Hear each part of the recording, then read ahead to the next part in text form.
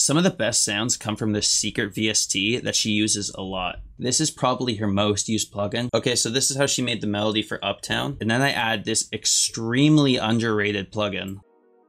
Alright, what's good YouTube? In this tutorial, I'm going to be going over how producer Wondagurl makes all her signature ambient psychedelic type beats for people like Travis Scott and Don Toliver. In this video, I'm going to go over her go-to presets, drum kits, effects, how she manipulates samples in FL Studio, and at the very end, I'm going to combine all these things and make a beat that sounds like it was made by her. By the way, if you want any of the drum sounds that I used in this tutorial, there's a link in the description where you can download them completely free. Alright, so the thing about Wondagurl beats is that most of the time she uses a lot of layers, effects, and samples specifically, and that's why her beats have such a unique sound to them. She uses Fruity Slicer, which is the stock FL Studio sample slicing tool, so I'm to walk you through how to use it. I took the samples from two of my favorite beats that she made, No Favors by Big Sean and Uptown by Travis Scott, and I sliced them in the exact same way she did to show you how it works. So first off, No Favors. This is what the original sample sounds like.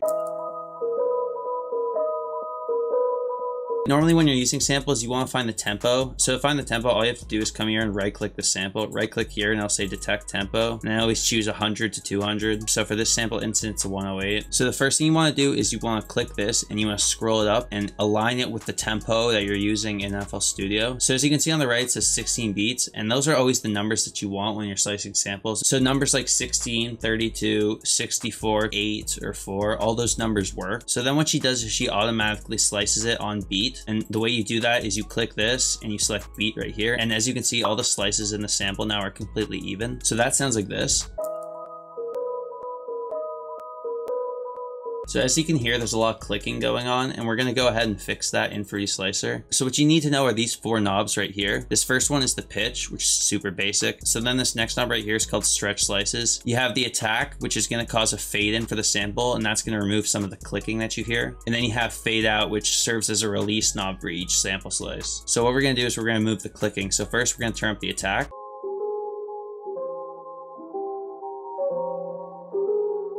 And just like that, that sounds good. So then what she does is she layers that main melody with three individual sample slices that she does with the exact same sample, except she pitches them up and down. So the first one she layers is the exact same melody, except as you can see down here, it's pitched down one semitone. So that sounds like this. And like we did with the first sample, we're just messing with the attack and the stretch until we get a sound that we like. So then she has a third layer that kind of sits in the distance and adds more texture to the beat. It sounds like this. Okay, so this is how she made the melody for Uptown. So what I did was I just looked up a video on YouTube called All the Samples Used in Days Before Rodeo, and I just recorded the little snippet where that sample plays and remade it with that. So the original sample sounds like this. And the reason a sample like this and so many more samples like this work really well is because as you can hear in these little stabs that play at the beginning, those are all individual notes that are playing. So if we slice each of those notes or each of those stabs in this case individually, then we can re-manipulate them in Fruity Slicer and create our own melody. So what we're to do is we're going to stretch those notes all out. So I'm going to turn it up to about there. So then what we're going to do is we're just going to change the pitch and we're going to bring it down all the way to eight semitones. And now it sounds like this. Since we're slicing at each stab or each note, we can completely manipulate it and create a whole new melody out of it. So as for Uptown, it's not 100% accurate because again, I don't have the sample, but when we rearrange it, it sounds like this now.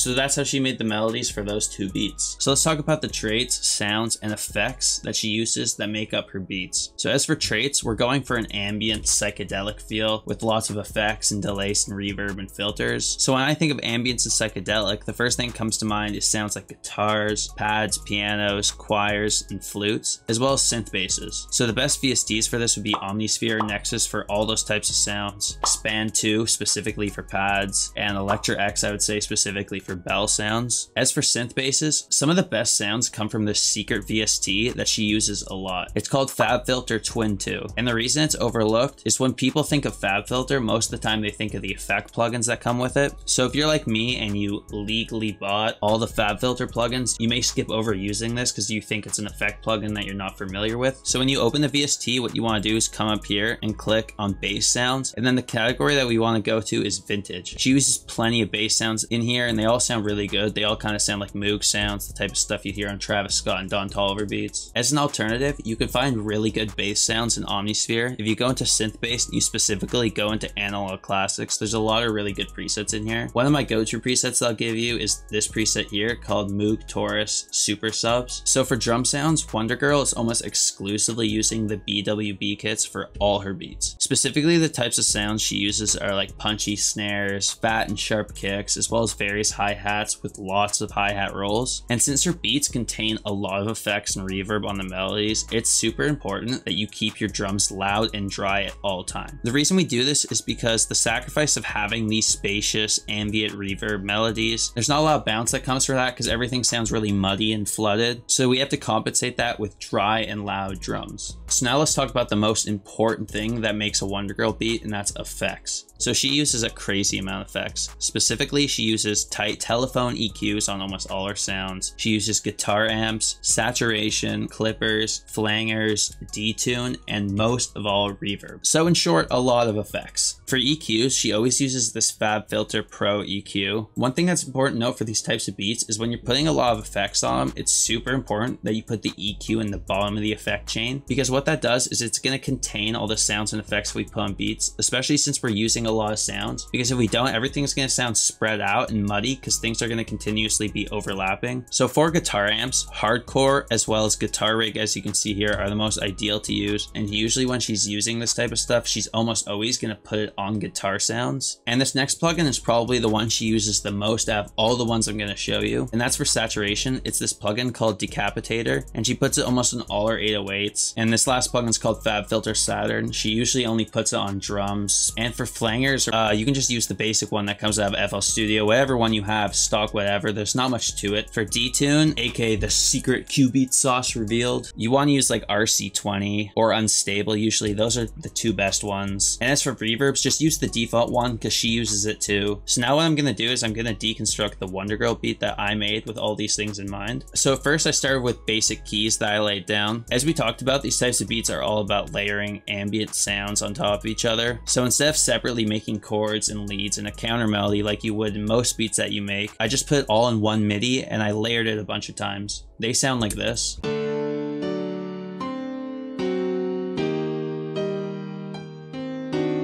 So then I went to Omnisphere and I found this pad. I went to the ambient genre in Omnisphere, and a lot of people don't do this when they go through sounds. They just pick through the default browser that comes up when you open Omnisphere. But I strongly recommend that when you're looking for sounds, you open the patch browser and you select genres based off the type of vibe that you're going for with your beats, and it sounds like this.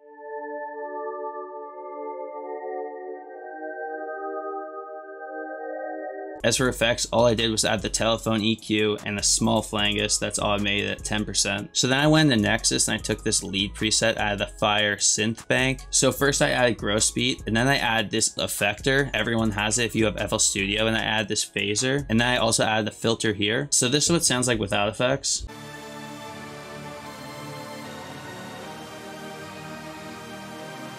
And this is what sounds like with the effects.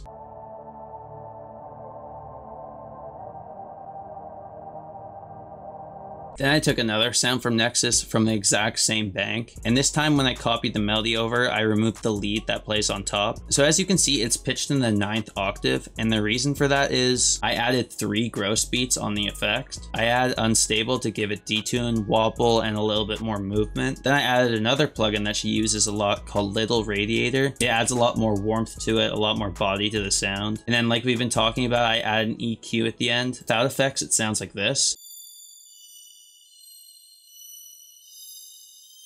And now with all the effects on, it sounds like this.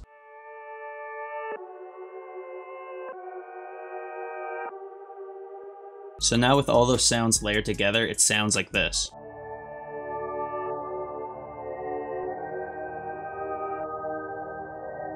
Those three sounds play at all points throughout the beat. So then what I did is I just copy and pasted the same melodies, removed the lead and counter melody on one of the presets, and added these two choir sounds that come out of Omnisphere, no effects, and those together sound like this.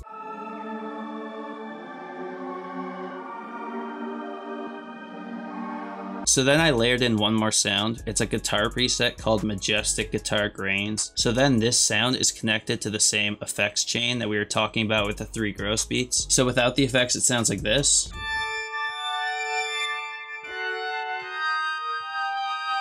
But now with the effects, it sounds like this.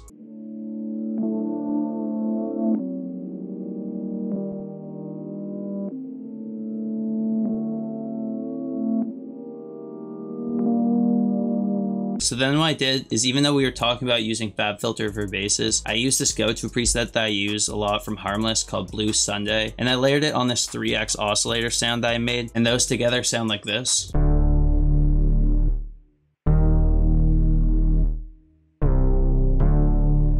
So then the next sound, and my favorite sound in the entire beat, is this pad from Expand called Recorder Pad Plus. And what I did was I put Gross Beat on the effects, I linked it, and I made a completely different melody while Gross Beat was still on. So if I were to play without Gross Beat, it would sound awful.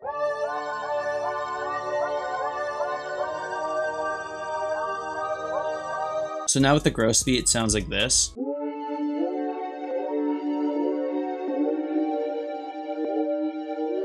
So let's talk about the last two sounds I added. The first preset is this basic sine bell that I got at Nexus. I use this bell a lot. It's called AR Good Night Bells. And as for effects, I added a basic reverb. The only important thing to note is I add this thing called a stereo enhancer. And what this is gonna do is it's gonna widen the melody so it doesn't interfere and overlap with the sounds that are already playing. So that sounds like this.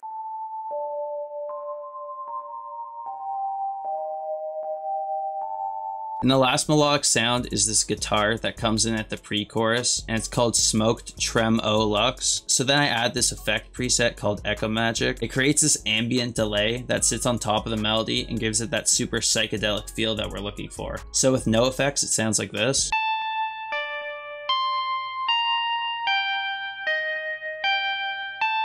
And with effects, it sounds like this.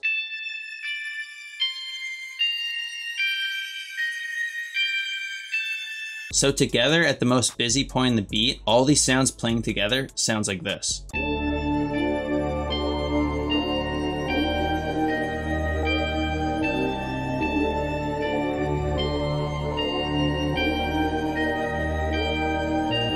So I think we can all agree that that sounds exactly like something she would make. So that's it for the melodies. Super simple stuff. As for the drums though, I really did keep it simple. Like we're talking about, nothing crazy, super dry and loud sounds. So first let's talk about Decapitator. So normally it's gonna look like this with the drive down, but what you wanna do is you wanna turn this up to your liking. And ideally you wanna go to this E style. So without Decapitator, the 808 sounds like this. But with Decapitator, it sounds like this. And last thing we're to talk about is FabFilter Saturn. So I just put on the snare just to give it a little more power. Without the effect, it sounds like this. And with the effect, it sounds like this. So I add a basic hi-hat and a basic open hat, and I add the slight halftime on the open hats that kind of just sits in the background, adds a little more bounce. That sounds like this. And with all the drums together, it sounds like this.